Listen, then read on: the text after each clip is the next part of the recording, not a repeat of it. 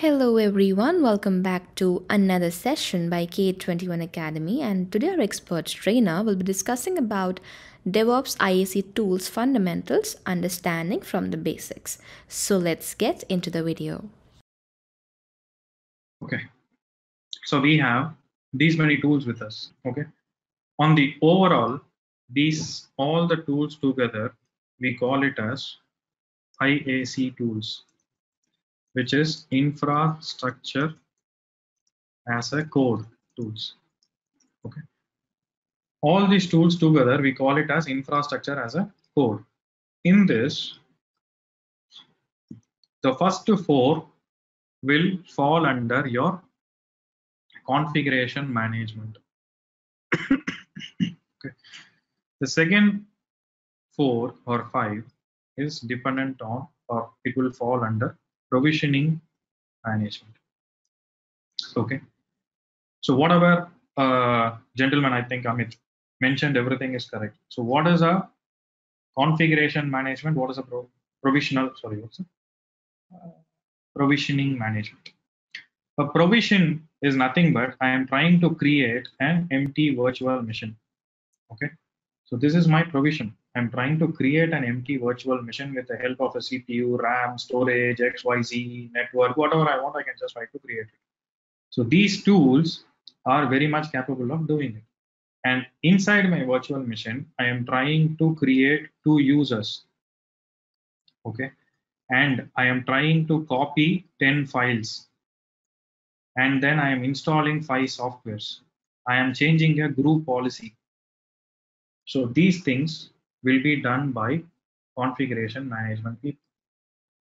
Okay, so any company it actually needs a combination of configuration management and provisioning management. But these people, the first four people, are capable of provisioning management also. Okay, with the help of Ansible, I can create an infrastructure okay. I can do the configurations inside an infrastructure also. With the help of terraform i can create an infrastructure. I can use some scripts to run the provisioning sorry to run the configuration inside my virtual machine also. Okay these people are capable of doing configuration management also by integrating it with some shell scripts or PowerShell scripts and other things, and I can still try to do it. Okay, basically, these eight people can do both provisioning and configuration management. That's why these people are called as infrastructure as a code tools. But the first four is very, very, very famous for configuration management. They will do it like a piece of cake. These they are just doing it as an extra work capable okay? But in this configuration management they are the best.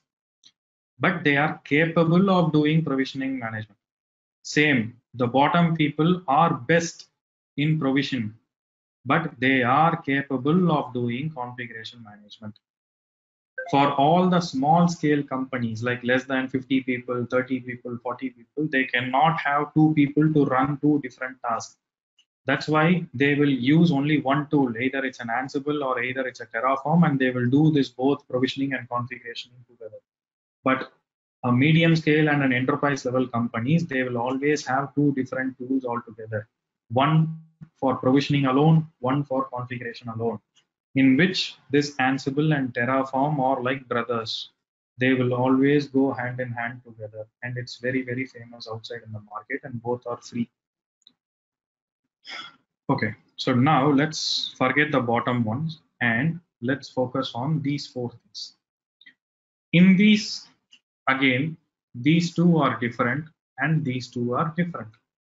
Okay, the first two fall under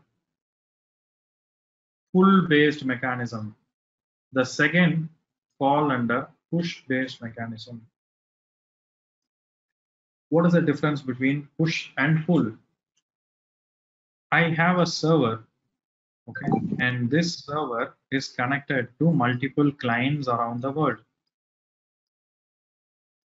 Okay.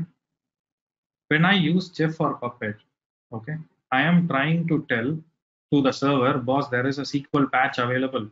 Try to install it to all the servers. Okay, I'm giving this patch to the server. So what Chef and Puppet will do is like it will not do anything.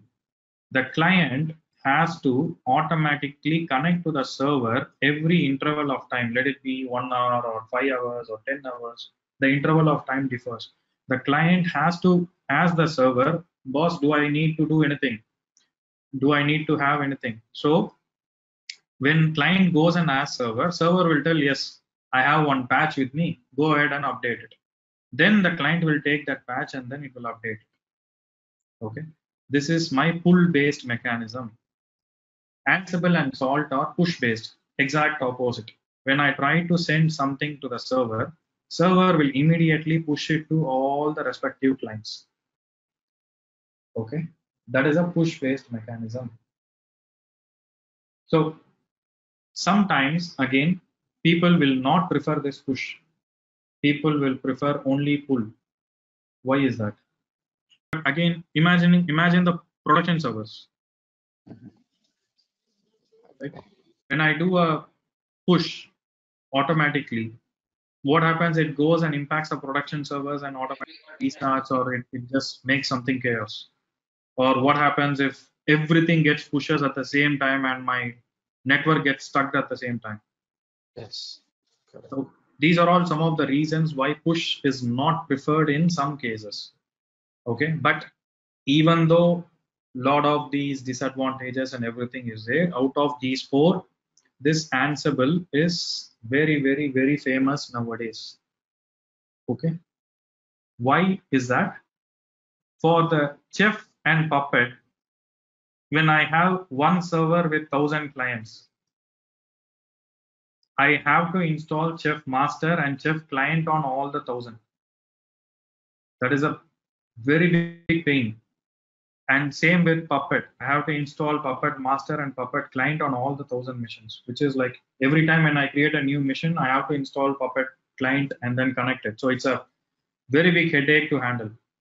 Okay, but Ansible and Salt, what happens is like it works on agentless that's a one main reason why Ansible is very famous across in the world nowadays.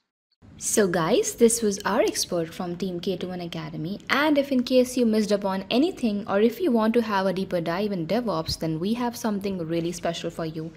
We have our free class on DevOps for beginners, what, why, and how to get higher paid jobs. All you have to do is just log on to k21academy.com forward slash DevOps02.